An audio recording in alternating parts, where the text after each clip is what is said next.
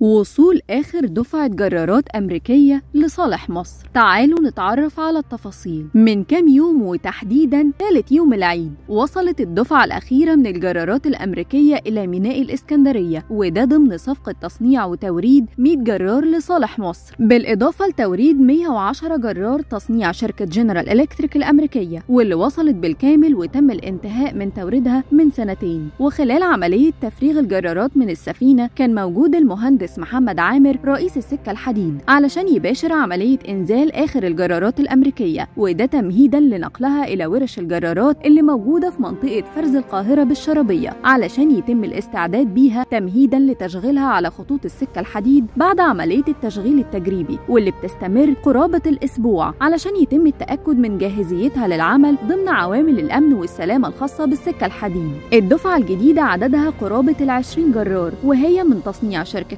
وابتك الأمريكية وتم نقلها من مدينة نورفولك بولاية فيرجينيا الأمريكية إلى ميناء الإسكندرية. والرحلة استغرقت حوالي أسبوعين والدفعة الجديدة هي آخر دفعة في صفقة توريد 100 جرار جديد. وبكده يرتفع أعداد الجرارات الأمريكية اللي تم توريدها على مدار خمس سنين ل 210 جرار. وده هيساعد بنسبة كبيرة على دعم قوة الجر في السكة الحديد وتحقيق أحد أهم بنود تطوير السكة الحديد من خلال زيادة أعداد الوحدات المتحركة. في الحقيقة الجرارات الأمريكية أثبتت كفاءة عالية على مدار أربع سنين وساعدت في انتظام الرحلات بشكل كبير خاصة على الخطوط الطولية للسكة الحديد من خلال قوة تسارع عالية بالتزامن مع تطوير منظومة إشارات السكة الحديد على الخطوط الرئيسية والفرعية واللي سمحت بزيادة أعداد الرحلات على خطوط الهيئة. الدفعة الأخيرة ترقيمها بيوصل ل 2692 وكان من ضمنها الجرار رقم 2690 صاحب الترند الشهير. بعد قيام سيدة أمريكية بتصوير الجرار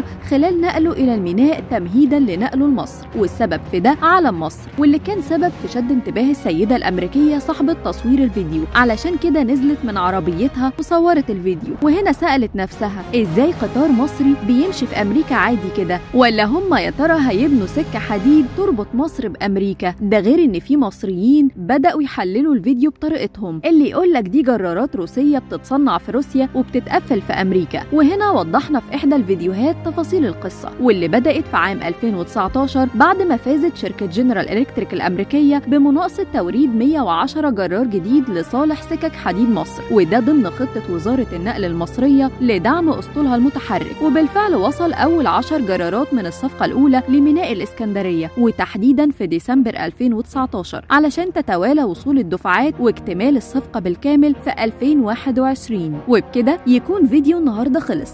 استنونا في فيديو جديد من أخبار عالم النقل.